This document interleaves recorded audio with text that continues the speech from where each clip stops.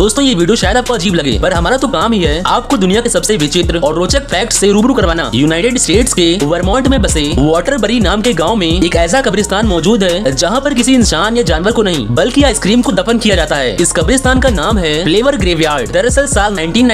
में United states की dairy product बनाने वाली मशहूर कंपनी पेन एंड जेरी ने इस कब्रिस्तान को बनवाया था जहाँ पर वो अपने ऐसे आइसक्रीम फ्लेवर को दफनाते थे जिन्हें कंपनी बनाना बंद कर चुकी होती थी इस फ्लेवर ग्रेवयार्ड में रोजाना कई लोग उगाते हैं और बंद हो चुकी अपनी फेवरेट आइसक्रीम फ्लेवर की कब्र के पास जाकर उसे याद करते हैं यानी कह सकते हैं कि यूनाइटेड स्टेट्स में आइसक्रीम के शौक का एक अलग ही लेवल है ऐसी और भी वीडियोस के लिए चैनल को सब्सक्राइब कर लेना